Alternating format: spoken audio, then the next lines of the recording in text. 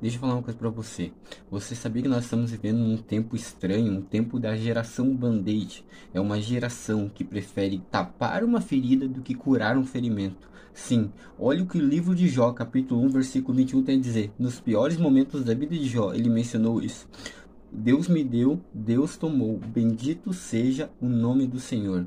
Jó não escondeu de ninguém o que ele estava passando, que era complicado, difícil, doloroso, mas ele preferiu do que tapar superficialmente uma ferida, um machucado ou uma cicatriz. Ele preferiu trabalhar no ferimento para que ele fosse totalmente curado. Deus está dizendo para mim e para você hoje que não adianta taparmos com band-aid certas coisas. A gente vai precisar mexer ali e vai doer um pouco, mas ah, o tratamento é necessário para a cura na minha e na sua vida acontecer. Que Deus te abençoe.